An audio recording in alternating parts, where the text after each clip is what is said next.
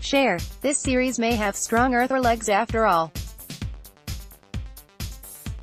By Hope Corrigan After being cancelled by Syfy, it looks as though The Expanse could find its fourth season on Amazon. According to The Hollywood Reporter, Amazon is in talks to pick up the show for its streaming service. The Expanse is an adaptation from James S.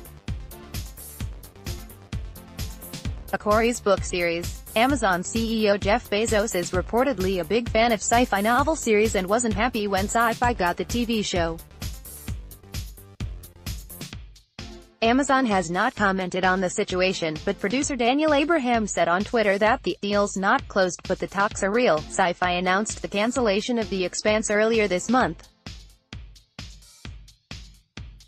Though the series was fully financed and produced by Alcon Television Groups, it's likely the series was too expensive for Syfy due to not having international rights into the series which instead were held by Netflix.